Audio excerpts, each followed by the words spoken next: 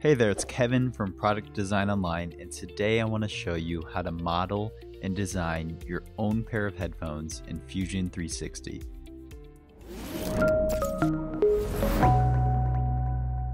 Now, this video is based off an older video that Kaching has done for the Fusion 360 YouTube channel. But that video is from 2013 and it's quite outdated and there's been a ton of changes to Fusion since, so I figured I'd go ahead and make a newer version. So to get started, we're going to create a box in the sculpting mode. Now you'll see once you create a form here that the little panel pops up on the side for the box dimensions and everything else there.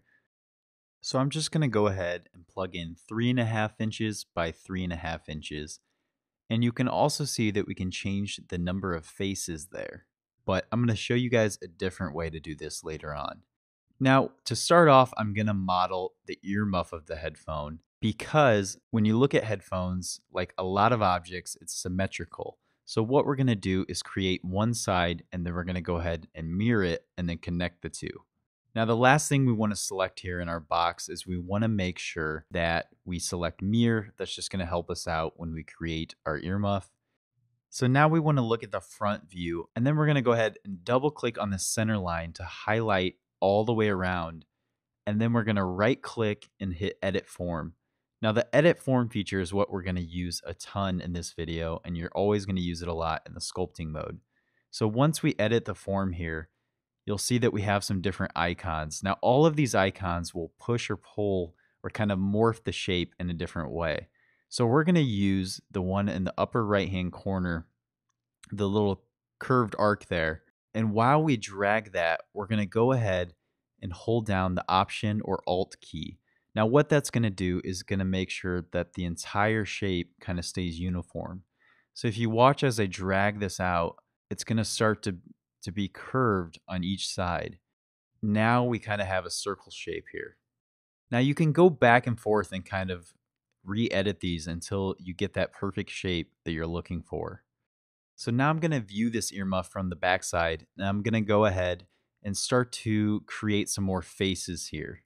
First thing I need to do is select the four faces and then edit form. And now we're going to go ahead and hold the option key down while we drag the center icon there. So it's the little dot and when you hover over it, it should have three triangles next to it. Now, what that icon does is it creates more faces for us. I'm going to drag that center arrow outward while also holding down Option or Alt there. And you'll see the bulge will start to come out. Now, I'm just going to go ahead and do this one more time and kind of play around with this shape until I like it. And I'm going to create an inward bulge just to kind of give it some character and, and create my own headphones here as you follow along this tutorial, feel free and I actually encourage you to kind of create your own shape and really play around with the shapes here and create your own style. So now that we have the outside of the earmuff pretty much done, we want to go ahead and create the inside, so the part that's actually going to go over the ear. So if we flip around to the other side, I'm going to once again select all four of these main faces here, and then I'm going to edit form and hold down the option key, and I'm going to drag my mouse until the faces go inward.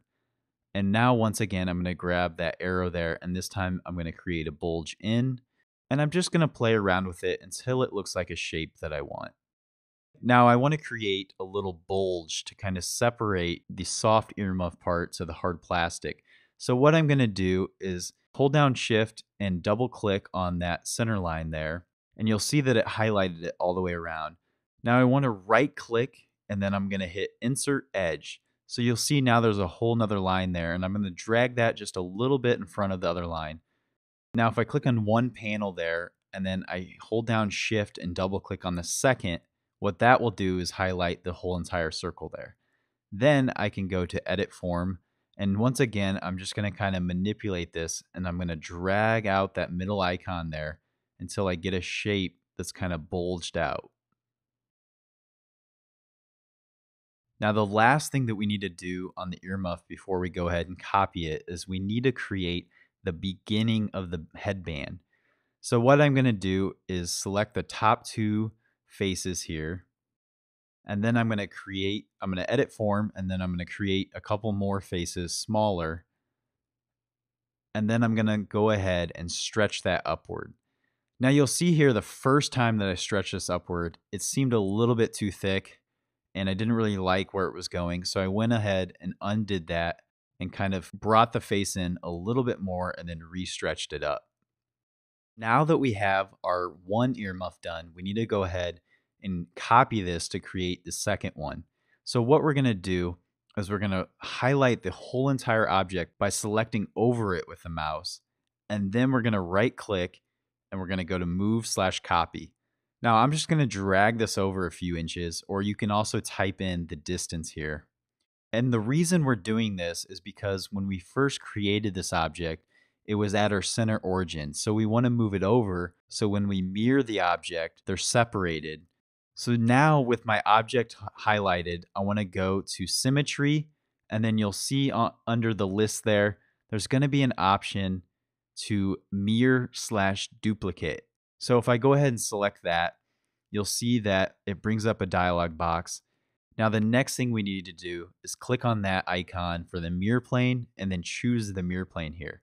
Now, just looking at this real quick, I can already tell that the headphones seem to be way too close together. So what I'm going to do is I'm going to undo that and I'm going to go ahead and move the first earmuff over a little bit more and then I'm going to go ahead and recopy that over.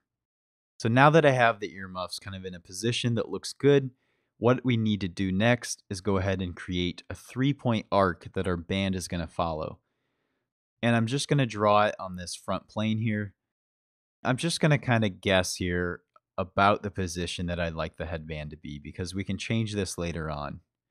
So once you have the arc done, you want to hit stop sketch so whenever you select the bridge function here, it's going to first ask you to select side one. So what we want to do is select all of the faces on side one that we want to bridge. So I'm just going to select these top two faces here. And then I'm going to select the other side. And then we're going to select the curve under the follow curve function there. Now you'll see that we can't really see anything yet. And if I check preview, it'll kind of give me a good preview of what's going to happen. So sometimes this happens, the curve will kind of follow opposite. So you can either drag it around or you can just hit flip curve there. And if I hit OK, just like that, you'll see that now we kind of have a basic pair of headphones here. Now, the cool thing is, this is where you can really get stylized and kind of play around with the shape and, and create your own unique set of headphones. So I'm just going to kind of start manipulating the headband here with a lot of the same kind of features that I've shown you already. So I'm just going to kind of select different faces and drag and kind of push and pull them in different ways. So after I kind of get the shape to a position that I kind of like it, what I like to do is kind of drag and drop some quick colors and or materials on it. It's just going to give you a little bit better of an idea of what it's going to look like and it may give you some ideas of what you can go back and kind of change or, or rework. So what I'm going to do is hold down shift and select all of these soft parts of the earmuffs here. And then I'm going to right click and go to appearance. And then I'm just going to kind of find some sort of cloth that I think would look good. So I kind of like this weathered leather look here. I'm going to drag that over. Now it looks way too big, the texture does. So I'm going to double click on that and kind of scale it down and tweak these until it looks a little bit better. Now for the headband, I want to do some sort of polished or kind of shiny plastic. So what I'm going to do, I'm going to go ahead and just play around with some different colors here and see what I like. And just like that, in about 10 minutes, we have a cool kind of unique set of headphones here. And a great way to kind of experiment with Fusion 360's modeling form. If you learned something in this video, be sure to